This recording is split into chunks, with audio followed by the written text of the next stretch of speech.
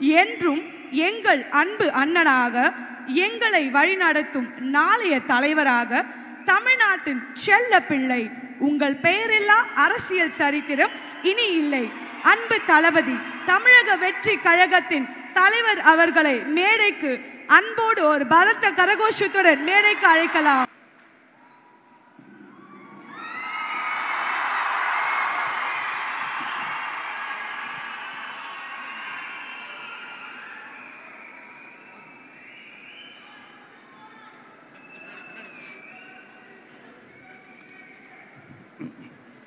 வந்திருக்கும் இளம் சாதனையாளர்களுக்கும் அவங்களுடைய பெற்றோர்களுக்கும் தமிழக வெற்றி கழகத்தினுடைய தோழர்களுக்கும்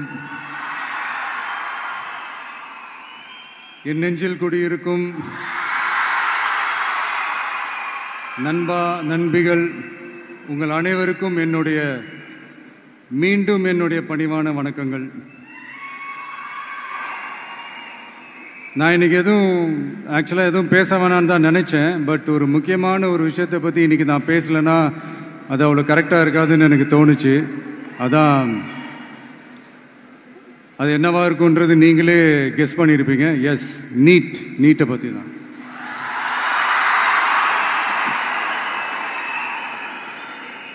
இந்த நீட்டுன்றது பார்த்தீங்கன்னா நம்ம தமிழ்நாட்டில் இருக்கிற மாணவ மாணவிகள் குறிப்பாக கிராமப்புறத்தில் இருக்கிற ஏழை எளிய பிற்படுத்தப்பட்ட மிகவும் பிற்படுத்தப்பட்ட மற்றும் தாழ்த்தப்பட்ட வகுப்பினை சேர்ந்த இந்த மாணவ மாணவிகள் எல்லாருமே ரொம்பவும் பாதிக்கப்படுறாங்கன்றது தான் ஒரு சத்தியமான ஒரு உண்மை.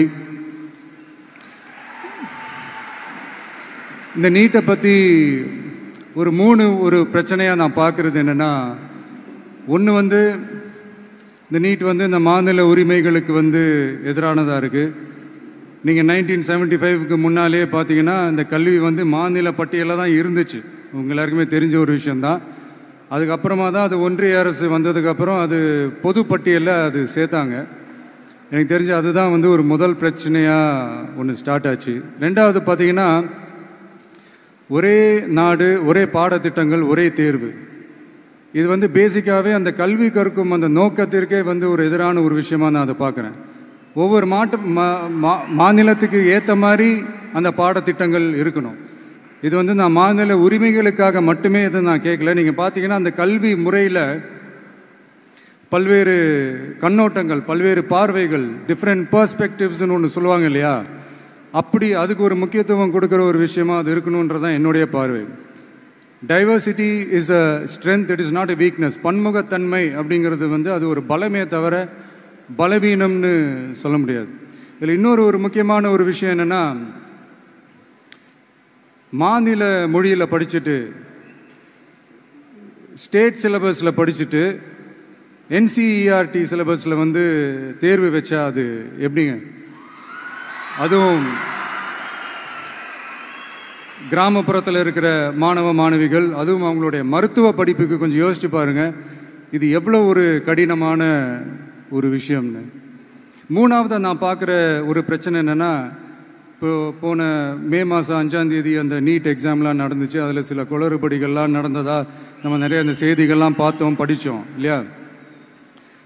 அதுக்கப்புறமே என்ன ஆயிடுச்சுன்னு பார்த்தீங்கன்னா அந்த நீட் தேர்வுக்கு மேலே இருக்கிற அந்த நம்பகத்தன்மையை வந்து மக்கள் மத்தியில் சுத்தமாக போயிடுச்சு.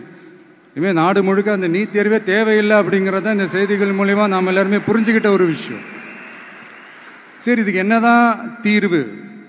அப்படின்னா நீட்டு விலக்கு தான் வந்து இதுக்கு உடனடி தீர்வு.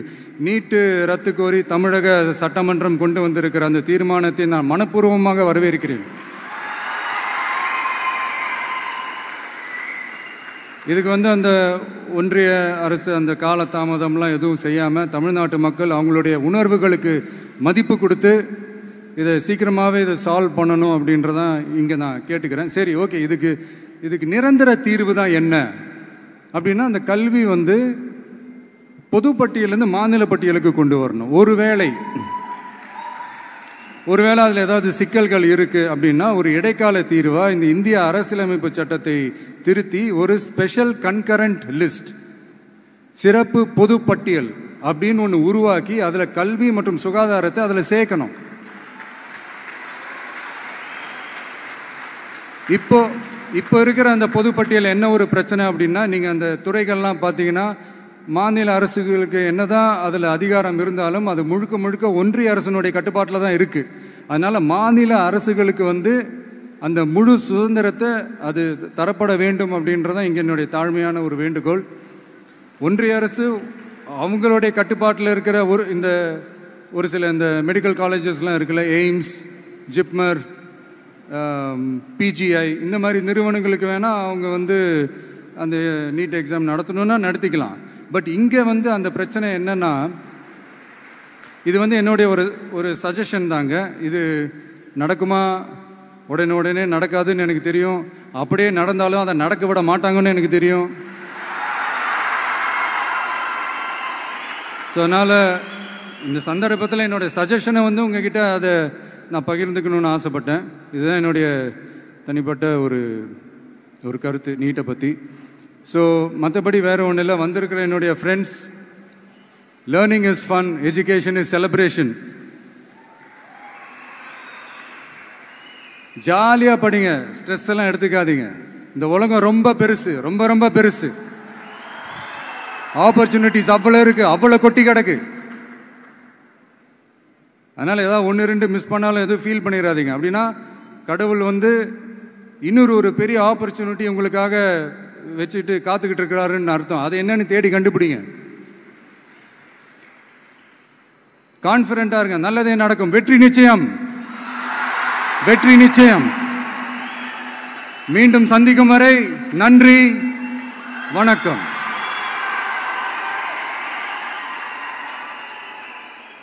ரொம்ப அழகான விஷயங்களை எங்கள் கூட பகிர்ந்த நம்மளுடைய தமிழக வெற்றி கழகத்தின் தலைவர் அவர்களுக்கு எங்களுடைய நெஞ்சார்ந்த வாழ்த்துக்கள். அடுத்ததாக பன்னிரெண்டாம் வகுப்பு பொதுத் தேர்வில் வெற்றி பெற்ற மாணவர்களுக்கு இப்பொழுது சான்றிதழ் வழங்கும் நிகழ்வு. முதலாவதாக செங்கல்பட்டு மாவட்டம் செங்கல்பட்டு தொகுதியை சார்ந்த சுபிக்ஷா என்ற மாணவிக்கு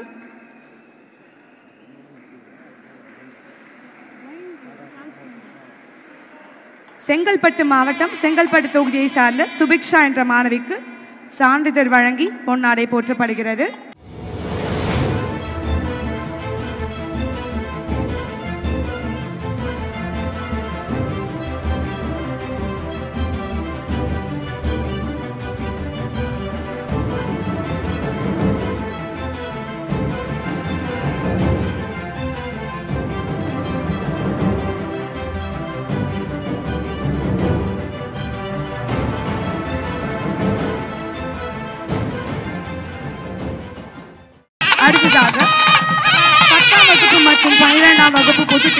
சிறந்து விளங்கிய சிரிப்பு சிறப்பு பிரிவில் சென்னை மாவட்டம் சேப்பாக்கம் திருவல்லிக்கேணி தொகுதியை சார்ந்த திருநங்கை மாணவி நிவேதா அவர்களுக்கு சான்றிதழ் வழங்கி சால்வை அணிவிக்கப்படுகிறது.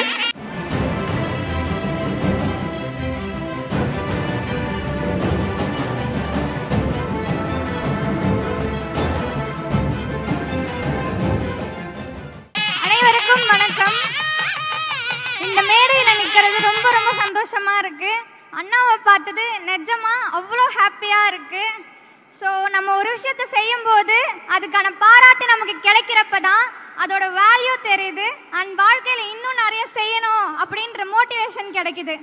அண்ட் நம்ம மாநிலத்தில் டாஸ்மார்க் ஓப்பன் பண்ணி குடிக்கிறவங்களை என்கரேஜ் பண்ணுறவங்களுக்கு மத்தியில் படிக்கிறவங்களை என்கரேஜ் பண்ணுறதுக்கான ஒரே கழகம் நம்ம டிவிக்கே தான். இதுதான் நமக்கு தேவையான மாற்றம்.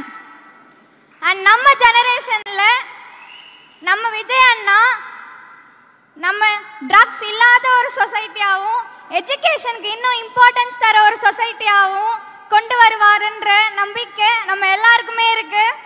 ஸோ அண்ணா கண்டிப்பாக நீங்கள் அந்த மாற்றத்தை கொண்டு வருவீங்கன்னு நம்புகிறோம் ரொம்ப தேங்க்ஸ் அண்ணா.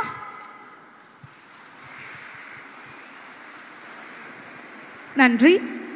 அடுத்ததாக சென்னை மாவட்டம் சேப்பாக்கம் திருவல்லிக்கேணி தொகுதியை சார்ந்த திருநங்கை மாணவி நிவேதா அவர்களுக்கு சால்வை அணிவித்து சான்றிதழ் வழங்கப்படுகிறது.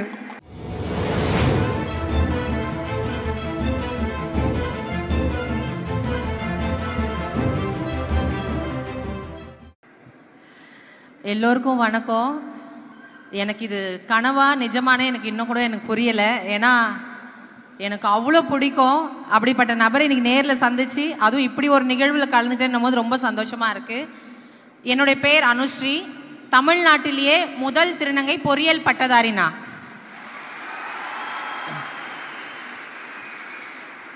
இந்தியாலேயே ஃபஸ்ட்டு டிரான்ஸ்ஜெண்டராக வேர்ல்டு ரெக்கார்ட் பண்ணியிருக்கேன் நான். டிஎன்பிஎஸ்சி குரூப் டூ தேர்வு எழுதி பாஸ் பண்ணி ஜட்மெண்ட் வந்து என்னோட ஆர்டருக்காக வெயிட் பண்ணிட்டு இருக்கிறேன். ரொம்ப சந்தோஷமாக இருக்குது ஒன்று சொல்லிக்க விரும்புகிறேன் நம்மளுடைய கான்ஸ்டியூஷன் ஆஃப் இந்தியாவை இயற்றின அம்பேத்கர் அவர்கள் சொல்லியிருக்கிறாரு கற்பி ஒன்று சேர் புரட்சி செய்ன்னு சொல்லிட்டு. அப்படி கல்வியால் சிறந்தவர்களை ஒன்று சேர்த்து நடக்கக்கூடிய இந்த நிகழ்ச்சி தான் புரட்சி. இன்னொன்று பாருங்க இந்த மேடையோ இந்த அரங்கமோ ஆண் பெண்ணுன்னு மட்டும் பிரிக்காமல் பாலின சமத்துவத்துக்கான மேடையா இது சாட்சியா இருக்கு. ரொம்ப சந்தோஷமா இருக்கு.